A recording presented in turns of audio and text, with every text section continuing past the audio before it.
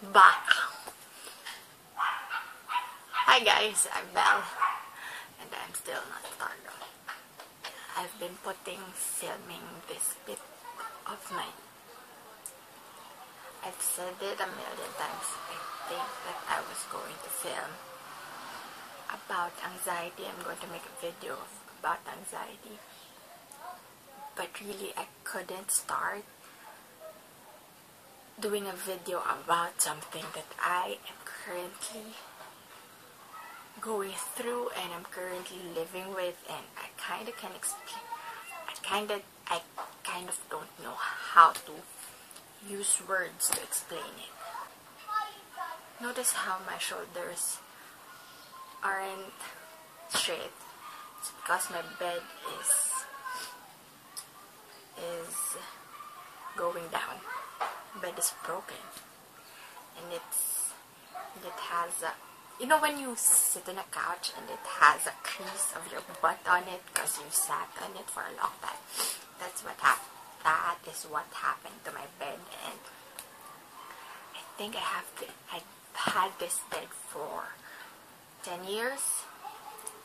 Yeah like that so I kind of need to get that fixed or something so my shoulders are not straight.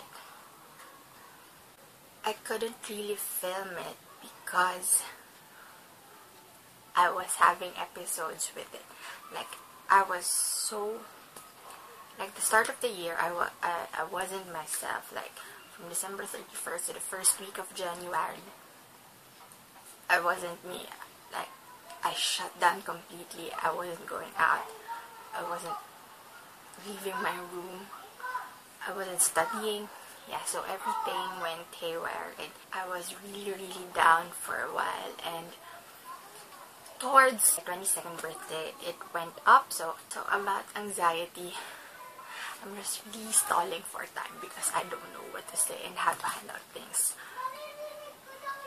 in the perspective of someone who had it and if I'm giving advice to someone or if somebody is is watching this and stuff like that. So I'm not going to go on things explaining the st statistics, the numbers of anxiety here in the Philippines because I think that in that department where I live, it's not that labeled as important like in the states where there's a whole bunch of organizations who are handling mental illnesses and depression and anxiety and self-harm and suicide and stuff like that. And I know that but I know that it's been the cases of people being bullied being and being bullied bullied bullied.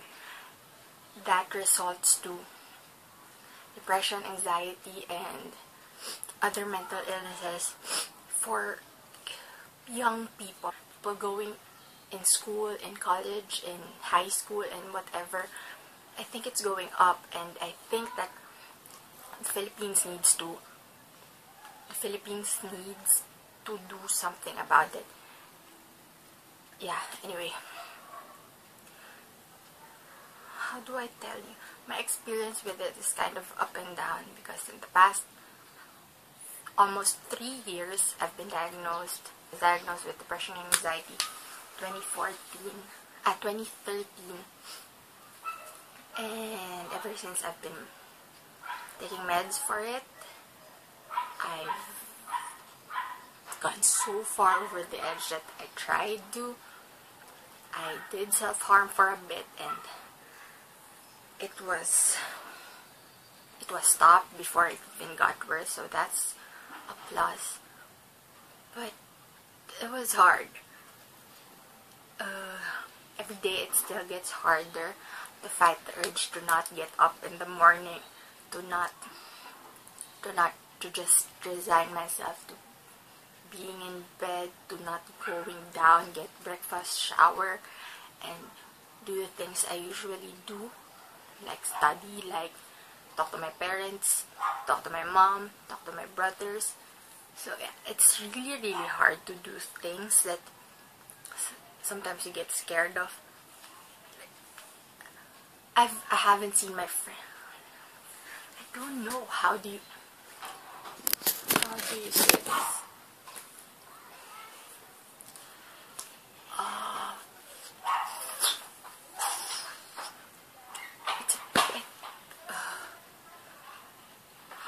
Give advice about anxiety that will help you? I think the only thing that helps me get through the day is having set my goals. Give yourself a deadline to do stuff. I don't know. I'm just really babbling about anxiety, right? This is actually making me nervous. I don't know.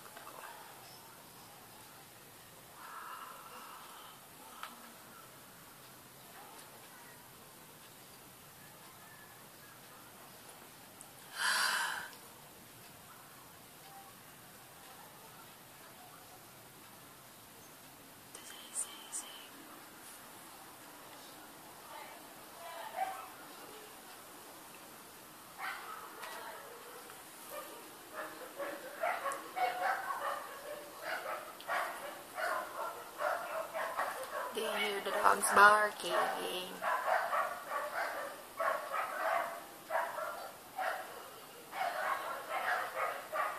Anxiety.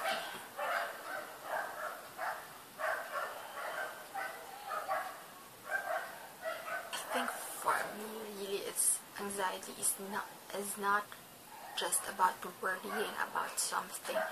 It's kind of living inside your head that you feel stuck.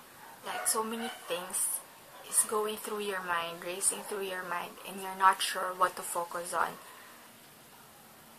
That it leaves you, it you're left being stuck in that moment and that weird presence in your mind that you're not gonna be able to do anything.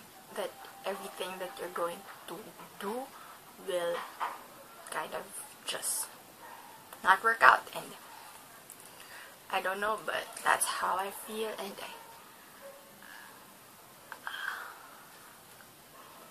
the most important thing that I have in my life right now as a support is my family that they haven't given up on me and they've pushed me and they've talked to me a lot about I should I should graduate. I need to do stuff, but I need to do them for myself, for myself, not for anyone, anybody else, but me.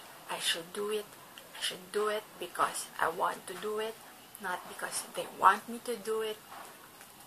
Like I think I've lived all my life thinking that my parents are pressuring me to graduate because I'm the eldest of three and um, I'm the ate, so I have to be this type of person. By the time I'm 25, I have to be settled in life. I have to have a job. I must have a car, a place, or, or something, or whatever. But that is not happening. That might not happen because I took another, I took a turn and I'm studying AB English now, not tourism, so that plan is going to waste. And but I still want to travel and I still want to get my own place. I still want to travel the world and stuff. Working towards getting a degree in English with the motivation that my parents are giving me, even though every day they shout at me, and even though I sometimes I sometimes scold myself for be for work not working that hard enough for being slow. Because my first deadline was May 2016 I should be graduating but that, that but that won't happen because I I I've been procrastinating so. Yeah. Mm. so now I have a new deadline and I have I want to stick with it. And I think with anxiety, you cannot you cannot use the words must and should because it feels like pressuring me to do something that I'm not sure I can do. Even though there are so many things in life that I'm not sure that I can do, but I'm willing to try. Honestly, I've tried to film so many times about anxiety, about my life. Like, I've vlogged so many times. I have, I have clips of my vlogs, but I haven't been uploading it to YouTube because I'm just but this time I'm doing it for myself. I'm not doing it for the views. I'm not doing it for for fame. I'm not doing it to be recognized. I'm doing it because I want to do it. I'm doing it because it's an outlet. It's kind of like my diary. Only someone else can know, the world can see it. So, this is not really an informative thing about anxiety. This is not an informative video about anxiety or mental illness. It's just me blabbing out stuff about anxiety in my life with it. So, I guess I'll see you soon. Bye.